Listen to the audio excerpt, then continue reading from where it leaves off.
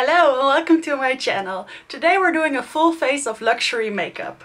I always say I love any kind of makeup from drugstore high-end to luxury and indie of course. But I do have a soft spot for luxury makeup. I love the packaging, I love the experience as Morgan Turner likes to call it. And I often do really like the quality of these products. There's something about the finishes that, no, cheaper brands sometimes seem to replicate, but not all the time. So I try a little bit of everything and that way it keeps things interesting. So today I have a nice combination of some Guerlain, some Chanel, some Dior, a lot of French brands now that I think about it. uh, some Charlotte Tilbury of course. Um, yeah, we'll I have a whole bunch of makeup in front of me and I'm not sure what I'm going to pick yet, but those brands will surely be included. So if you're new here, hi, thank you so much for clicking on my video. My name is Cecile, I'm 29 years old, I live in the Netherlands and I upload a couple of videos a week with makeup related content. So if you'd like to see more of that, then please consider subscribing. Also follow me on Instagram or TikTok if you'd like to see more of my makeup, fashion, life stuff, then please follow me over there. And now let's get into the full face of luxury.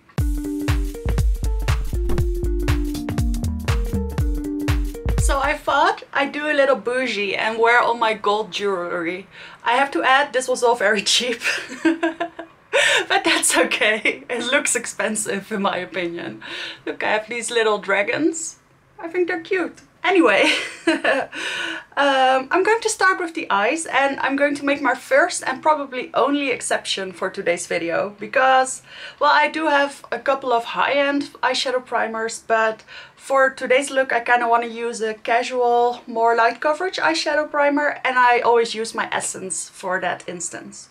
So this is the Essence I Love Color Intensifying eyeshadow base. Same as in my last video,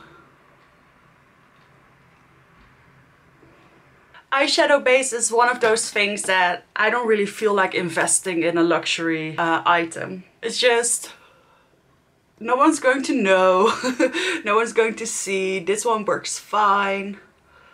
Alright, so the palette that I want to use for today is my Dior Birds of a Feather palette. This is in the shade, or the, the palette is called Nightbird.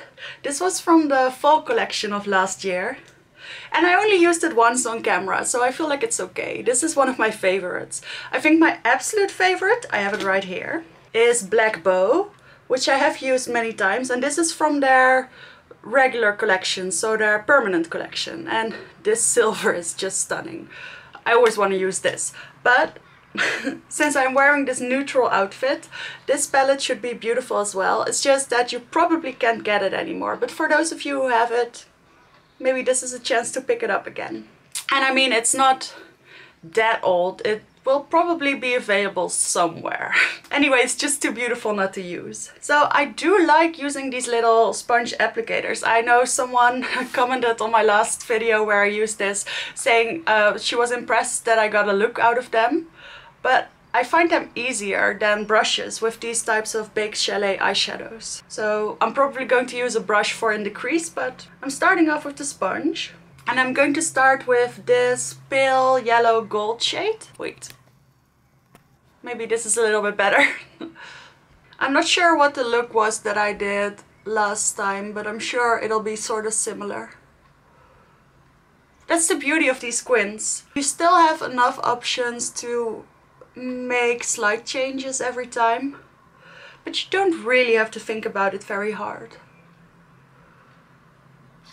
So I'm going to apply with this little applicator and then blend out with one of their little brushes. I think I might stick to the top three colors for this look. Even though those tealy shades are beautiful, of course. You see how beautiful? I'd say these are satin, but they're leaning metallic. They do have beautiful finish. I'm just building it up and I'm taking it slightly in a diagonal. I'm going into the green shade and I'm putting that right next to it, also in a diagonal.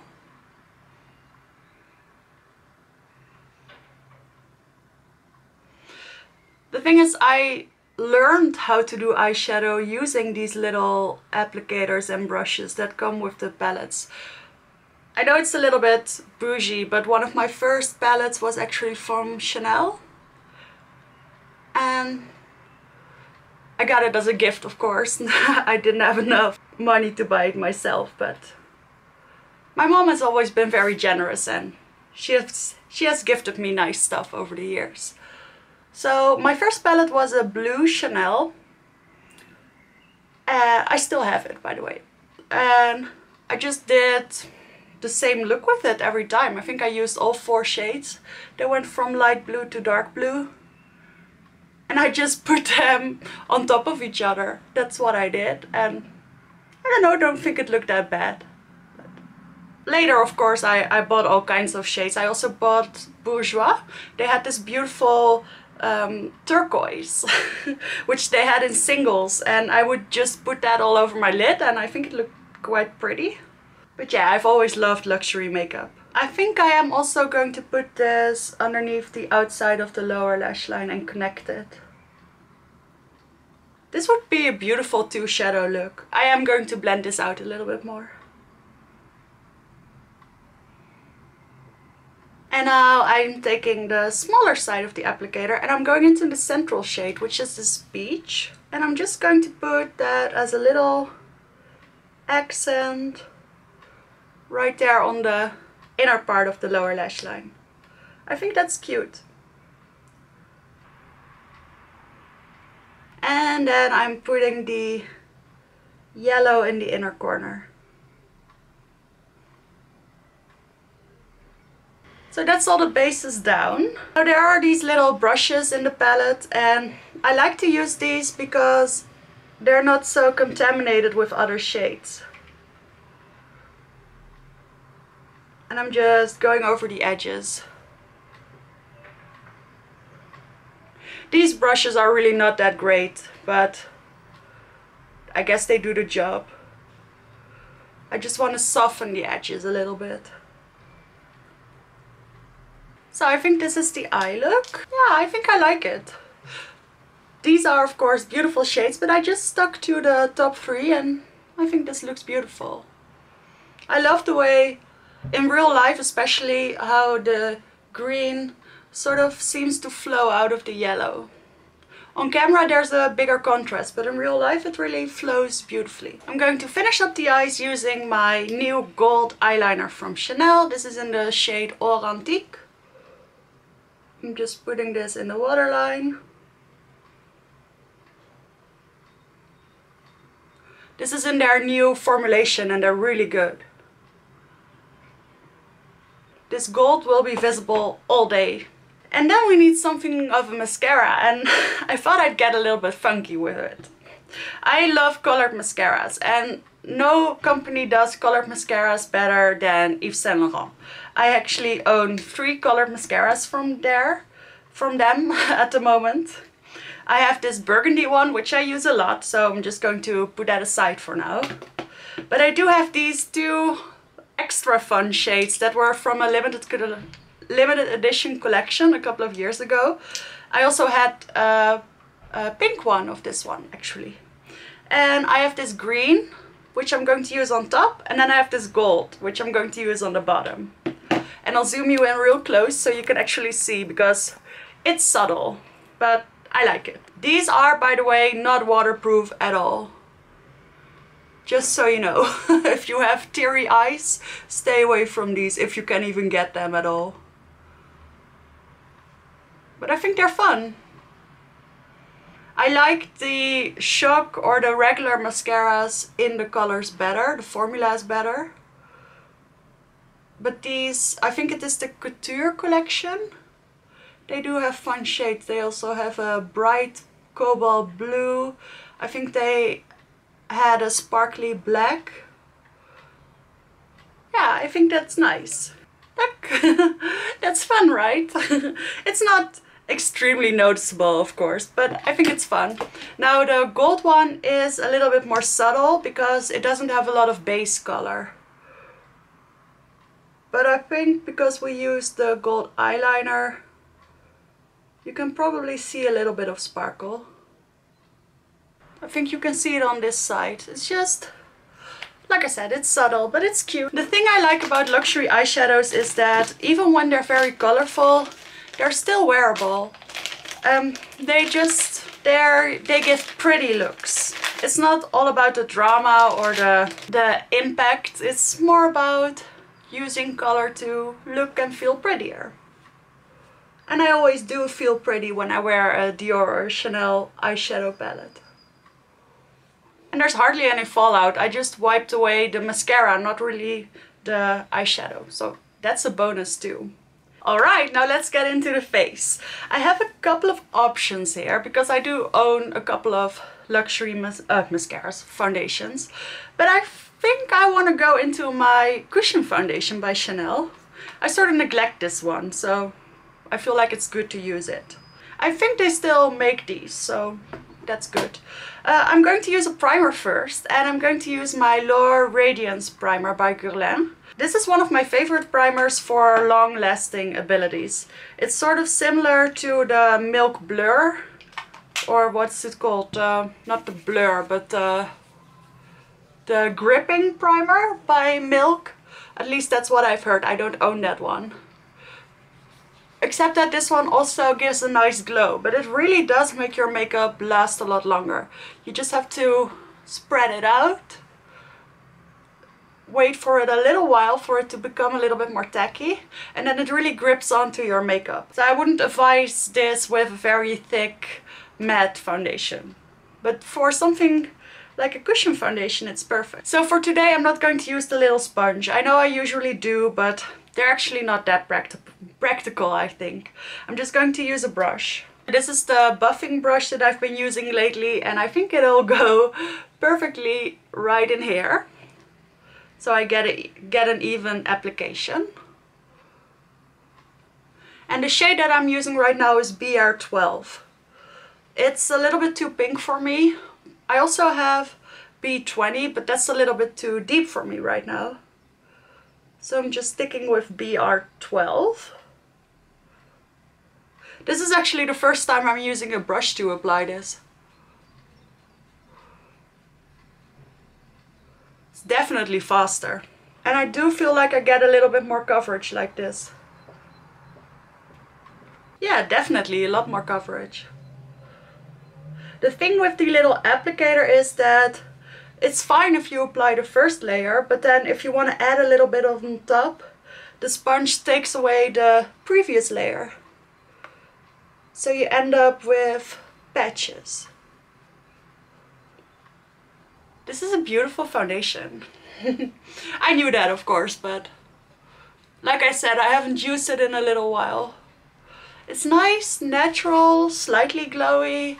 I'd say it's a light coverage, but it definitely covers enough for me. It covers my unevenness in the skin. That's what I'm looking for most.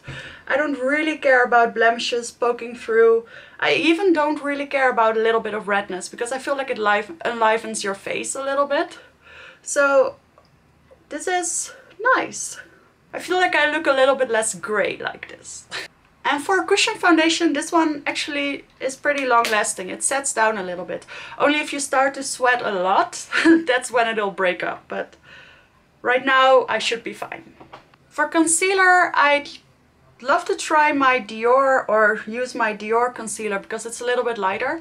But it's at my parents' house. So I'm going to use my Pat McGrath, which has quite a bit of coverage. So I'm only going to use a little bit.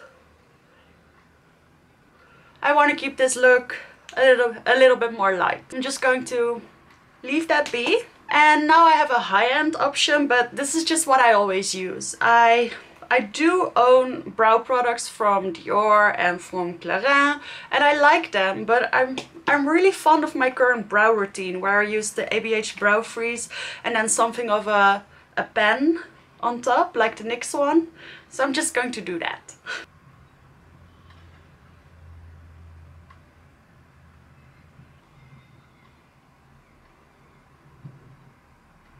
Alright, now I'm just going to go with my finger and blend out the concealer.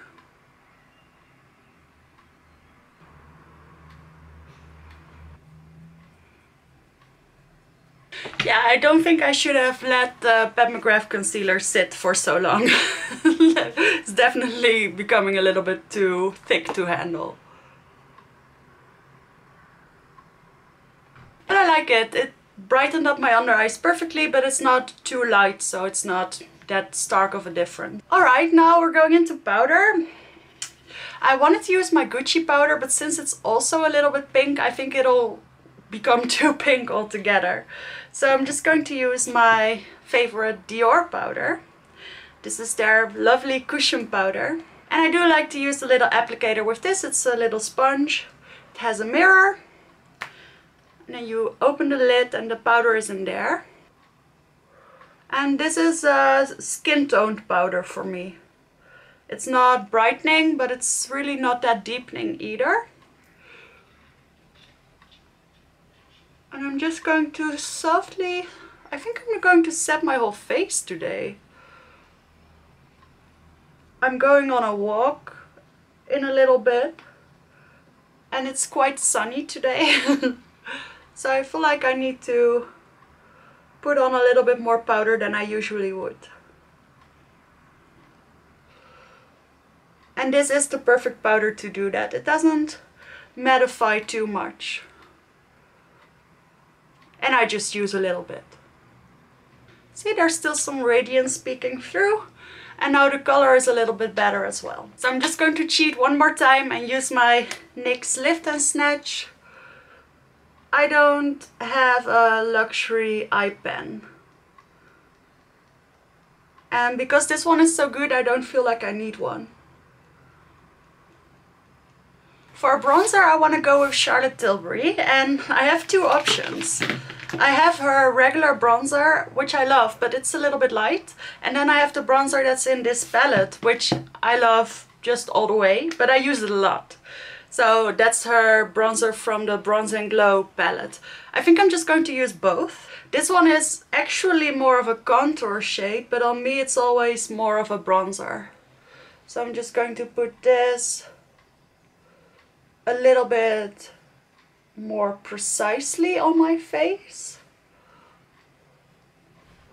And then I'm going to blend it out with the lighter bronzer.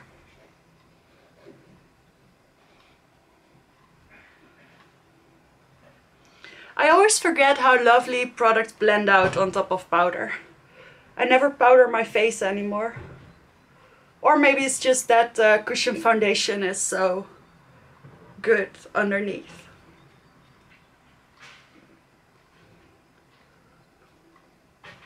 So that's bronzer one. I do like to use this little trick to make sure my bronzer is extra blended. So this is the light shade from her airbrush bronzer. I'm just going to add it sort of on top. And it gives it this really nice airbrush finish, I must say.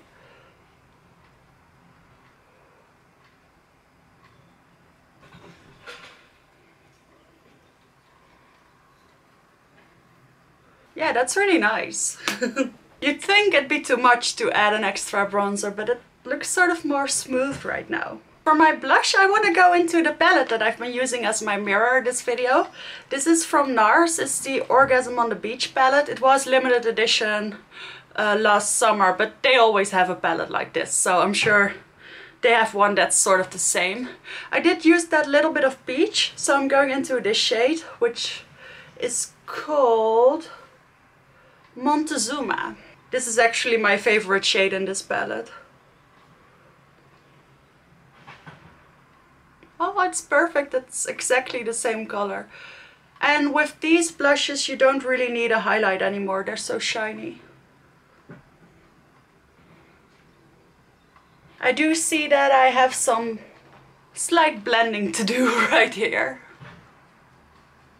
Just going to take this a little bit lower.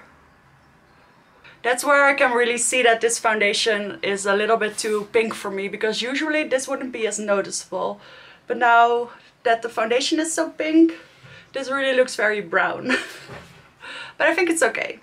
I'm not going to use any highlighter. Like I said, this is pretty glowy and I feel like my cushion foundation also gives enough glow underneath the powder.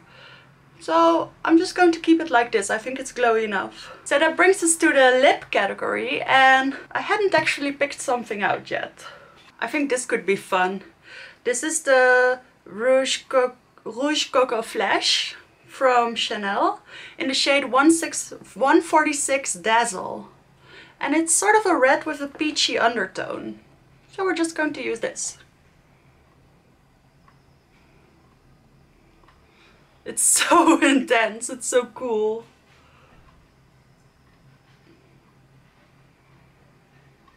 But it does look really pretty with the inner corner and with the blush, so I'm just going to keep it, I like it. But I forgot how bright it was. Alright, so this is it for my finished look. Full face of luxury makeup, what do we think? I really like it. I think the, the lipstick is a lot, but I do like the look overall. So definitely let me know what you think of this look and of these products in the comments and I will see you in the next video.